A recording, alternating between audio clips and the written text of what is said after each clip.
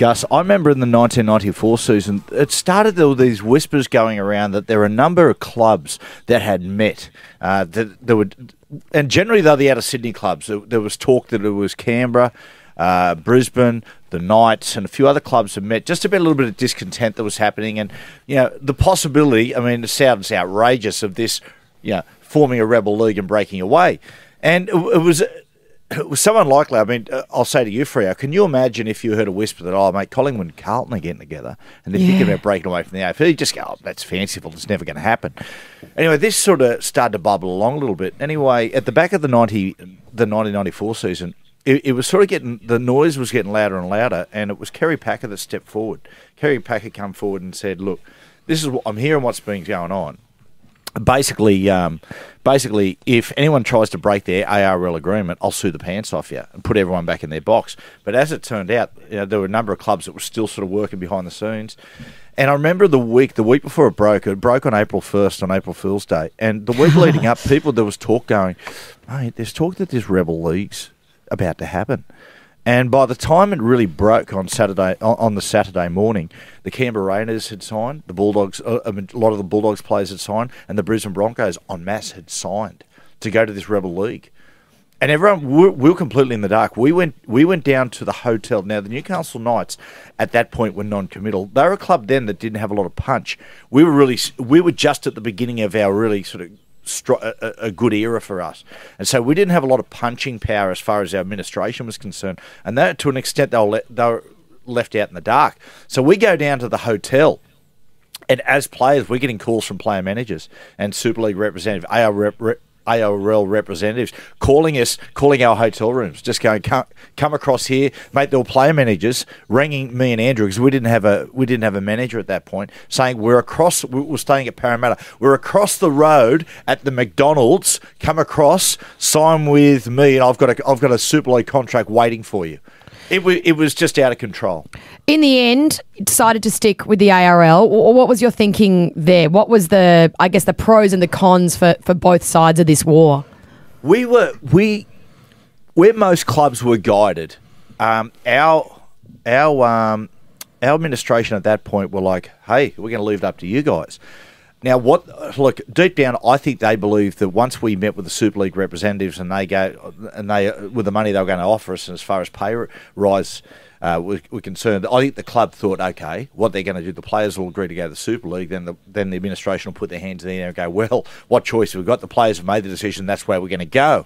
Uh, but what had happened, the Super League sent a couple of representatives, and we sat and negotiated, but but no one signed anything. Everyone was like, "Wow!" And and it was Paul Harragon said, "Mate, I think we just owe it to the ARL to listen to them." And so the ARL the next night sent Phil Gould. Now the first represent the Super League representatives were solicitors, lawyers that went, which had no imp- we were young guys. There was no had no impression on us. You know, all we saw were the dollar signs from them, where where Phil Gould really sat down and there was a fair bit of fear as well. He was like, guys, there's no guarantee this this rebel competition is going to get off the ground. You know, we, I remember him saying that the thing that really had an effect on me was that some of us were right at the beginning of our career and really just starting to get some traction in first grade and starting to make a career of ourselves. And he said, you know what, if you sign with this rebel league, guys, you know, I, I hate to say this, but who knows? Ricky Stuart and Laurie Daley might have played their last ever game of rugby league. And we all went, whoa. Anyway, at that point, our our um, our CEO walked into the room and Gus saw him and went, "Hey, hey, you, you, come back here. You're the CEO of this club. What do you, what do you want? To, what which way do you want the players to go?" And he went in a moment of panic, said, "We're happy with whatever the players do." Now, I think deep down they they wanted to go Super League. I think, Yeah. And Phil Gould said, "Righto, everyone, raise your hands if you want to stay with the ARL." I think me and Andrew were just about the only ones who didn't put our hands up because I was like, no, no, no, I, I'm seriously undecided. I don't know which way to go. But everyone went, yep, everyone went in, sort of signed, started signing with the ARL, and we went, well, if the boys are doing it, let's do it because we're, we, as I said, we're at the beginning of a great era. We're all best mates. I don't want the Knights to break up. I don't want to have to go play with someone else. I want to play for the Knights. So we signed the ARL. Wow. So, Matty, when you when you're involved and your brother and so forth, there's normally some sort of funny story that'll come out of any mm. sort of situation. You know, whatever situation you find yourself in. Is there any sort of story that you remember from that era that you go, oh. "Wow, that that was funny"? In in a time that was obviously at the time was hugely stressful for everyone.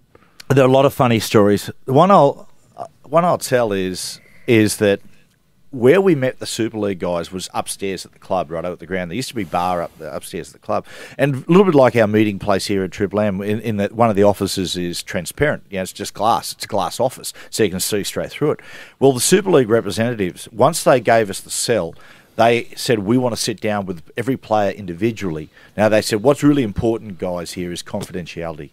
I don't want you guys to go away and talk about what's who's been offered what. Now, the first guy who went in, and we're all standing at the bar with a beer, and we're watching our first guy go in, and he was he was a young back rower who at that point was on twenty five grand a year. He goes and sits down with the Super League representatives, and we're looking at his face. And he can he all of a sudden has this massive grin on his face, right? And mm. they've told him, now listen, this is what the offer is, but this is confidential. Don't tell the others. Well, he walks. They're watching him as he walks completely. He walks straight out of the office, walks up to us, and goes, "Oh, they've just offered me three hundred and fifty grand." At oh. Which we all start smiling. They just one of them literally fell off his chair.